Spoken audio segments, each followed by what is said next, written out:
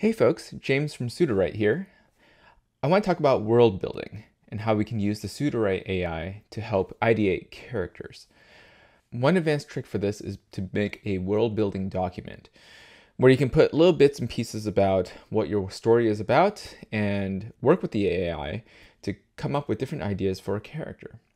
I recently caught up with I.S. Lee, the author of Aur Child. I'll put the link in the description and he was gracious enough to work with me to ideate a new character that he's working on for a sequel of his novel.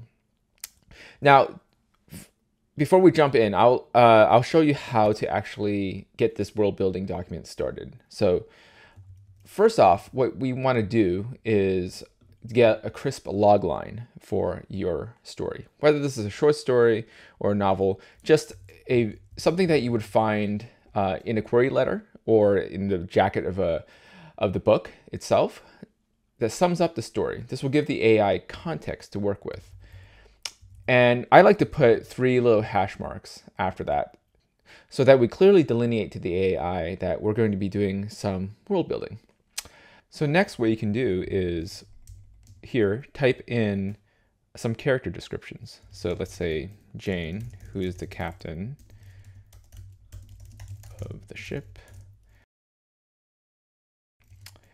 And what we can do now is just start interrogating the AI, have the AI work as a almost sparring partner with you to develop this character. Now let's jump into the session that I had with IS Lee about this. Not quite. Is you feel like this character is kind of flat, it's 2D. Like you want to like add some of these things. Um mm. uh the gazed upon him describe him as. Ah, yeah. another way of Okay. like. There you go. It's almost like. Madeline, right? From the waist up, his body is that of a man. His, he's impeccably dressed and groomed, his chestnut hair combed back, and his sleek mane, his long nails This- manicured. Ooh, that's This good. is really good. Yeah, I mean, because Yeah. actually, you know, the, the the the Mayan god is does take the shape of a jaguar. So so uh, it- okay, yeah, it's written Okay, well, there. you So- have that. It's written there, yeah. Yeah. Uh, so it is definitely a pulling on an eerily beautiful, a fierce and beautiful creature with an air of mystical. But I like this. Uh, Yeah. I wonder what will happen if we just do describe on this. Probably have enough already, but if you just wanted to get more variants on that, um, in different uh, ways, I don't know what, what his smell is. Can you smell an AI god? Probably. Uh, maybe in the underworld you can. Yeah, his feet calloused and his nails long. He wears a necklace. Interesting. Now he has a ponytail. okay. Um, but but but the intent of describe is to give variance, so it's not necessarily to make it uh cohesive. Uh, yeah, interesting. Cream colored silk suit. his nails. Yeah. Oh, flower scented oil. There's a musky, earthy scent, a unique fragrance stuff. A jungle cat. Hmm, hmm, I don't know. good. I've never smelled the Yeah. jungle cat, but I, I, I I'm convinced that maybe it's Musky. earthy. scent. Yeah, musky and earthy scent, probably. Yeah. His mane is rich and heavy, but not unkempt. His lap is reminiscent of waves cresting on a shore. Sound.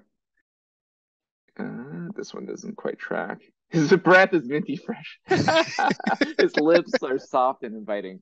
I'm not sure if that's true. Uh, uh, but as you can see, like you can just keep keep going here, and then he is pale as pumice and as round as a wheel. Oh, But- tailored but- from the hide of an elderly jaguar. The mustache was thick, not an errant pair. His teeth and nails were gleaming obsidian and enameled gold. It's cool. It's really This nice. is great language, right? I mean, this Yeah. it is following the tone of kind of uh, you're pulling in like yeah the uh, the Aztec like Mm-hmm. uh descriptions, and I don't know if you actually looked, maybe you read passages of Aztec descriptions and tried to pull that in, but now the AI is sort of riffing on that, right? So kind of what you were talking about, like a sparring partner.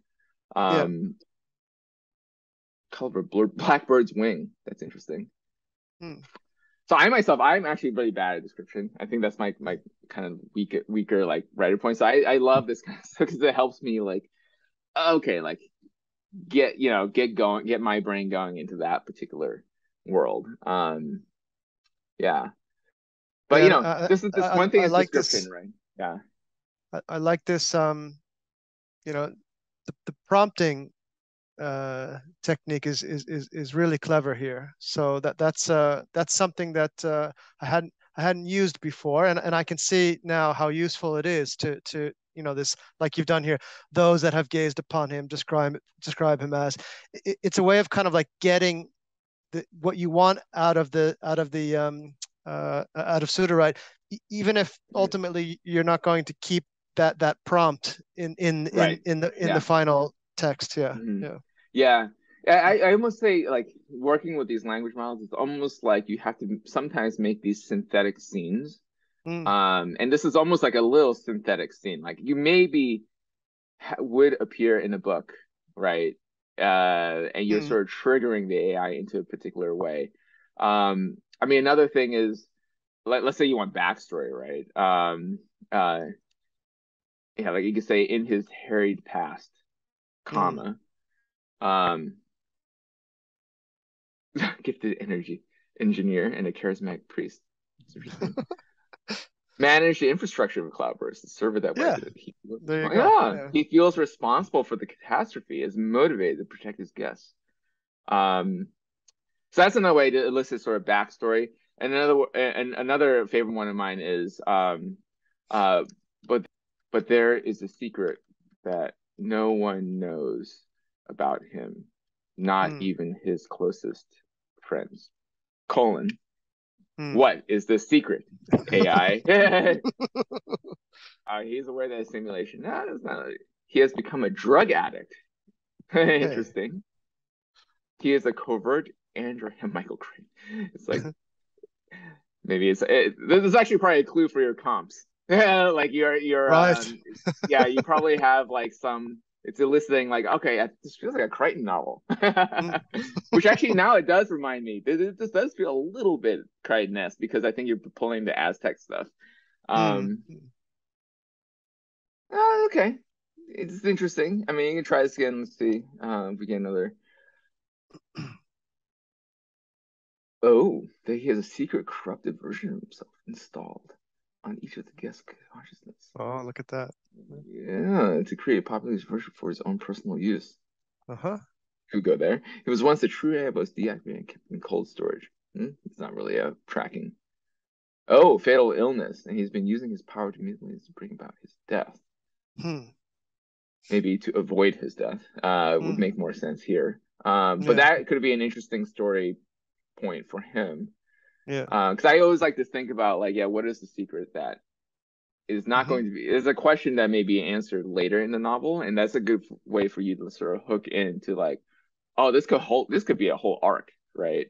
And yeah. I think in your first first draft, like these kinds of playful things that the AI could give you could be seeds that could grow, or or or show you things that you don't want to do. So that's the other thing about these mm. cards, like it's like yeah he's not he's not like that so sort of rule that out but you know the fact yeah. that the ai sort of reflected on that and thought this was possible might mm. be might reveal something about how you're like setting up this character yeah um yeah and you know could also like maybe there's something you should change is mm-hmm. so that's actually another thing is that sort of the negative space of the AI because it can sort of tell you what it thinks and you're like that's not what I thought but if like probabilistically you think that that's going to happen next maybe mm. there's something i'm projecting in the subtext that i don't want to project so you want to just yeah. suppress something right um yeah. but yeah anyway so hopefully this would give you some idea of like using this prompting technique for characters and so this is just one example of the types of questions that you can ask the ai but there's so much more that you can do. You can write backstories. You could have it help you fill out a diary uh, entry for the character, uh, or even interrogate the character by making a, a little chat dialogue with it. Uh, so there's a lot of things that you can do. This is just uh, one idea.